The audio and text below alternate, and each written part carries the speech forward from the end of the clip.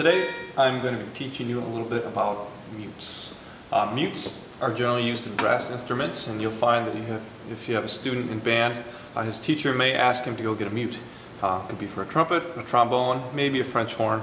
But over the next couple minutes here I just want to show you a few different kinds and uh, let you know how they sound and what they do, just so you have a little better understanding of uh, what to get when you're at the store and what the teacher is looking for. Uh, three basic kinds of trumpet mutes are the straight mute, the cup mute, and the Harmon mute, also called an extending tube mute because it has an extending tube on it.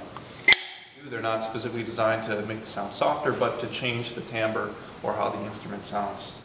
Uh, the straight mute, which you'll notice, it's made of metal, goes in the bell, and when you use a straight mute, you're going to use, notice the sound might even sound a little bit louder, but it's, it's a very sharp, very tinny sound. Here it is.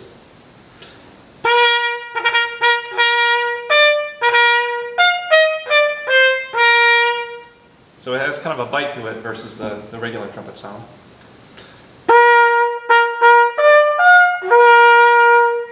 The other is the cup mute.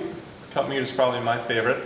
And this one will reduce the volume a little bit, but it also changes the sound of the timbre of the instrument drastically. So I'll play a little bit with the cup mute.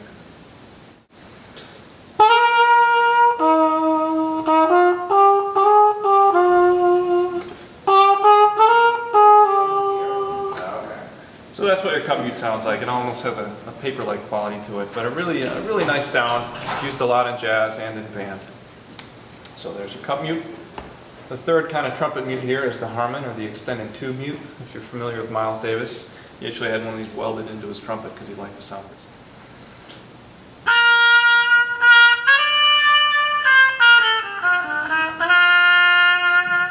It's got a, then kind of nice buzz to it. You can pull the stem out, a little bit of different sound.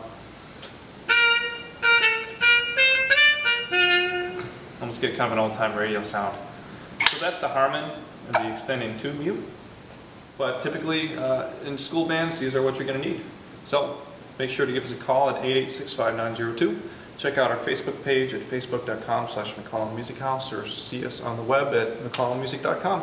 Thank you so much. We'll see you next time.